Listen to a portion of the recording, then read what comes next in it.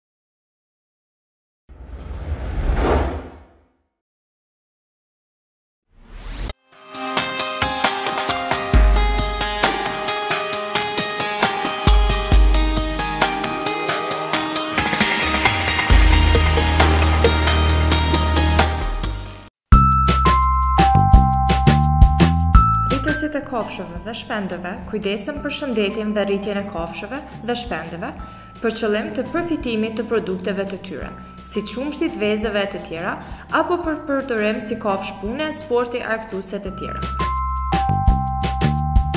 Rritësit e kafshëve dhe shpendëve i kryejnë këto detyra.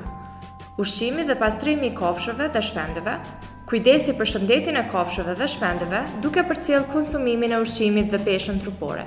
Kontrollimi për ndonjë shenjë të parazitëve, lëndimeve apo sëmundjeve dhe i raportojnë ato tek pronari. Përkujdesja për lëkurën, qimet dhe thojtë e kafshëve dhe shpendëve, mbajtja e mjedisit të pastër dhe të sigurtë të punës, Monitorimi i procesit të shumimit të kafshëve dhe shpendëve, si dhe kryerja e punëve të fermës lidhur me shumimin e kafshëve.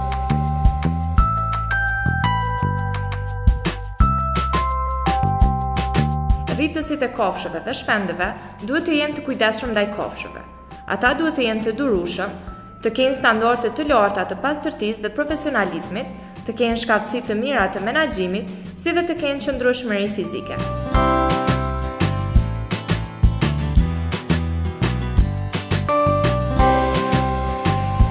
Vendi i punës për rritësit e kafshëve dhe shpendëve dallon varësisht nga bizneset në të cilët punojnë dhe fokusi i tyre në tregun e punës. Ata mund të punojnë të pavarur apo si pjesë e ekipit për përkujdesje ndaj kafshëve. Mjedisi i tyre i punës duhet të jetë i sigurt dhe i pastërt, edhe pse puna e tyre shpesh është e papastërt. Orari i tyre i punës ndryshon varësisht nga vendi i punës. Rritësit e kafshëve dhe shpendëve përdorin gërshërë për të prerë qimet dhe thojtë, mjete për pastrim të kafshëve dhe shpendëve, si dhe insekticide për të kontrolluar insektet e dëmshme. Ata përdorin edhe inkubatorë për shumimin e shpendëve.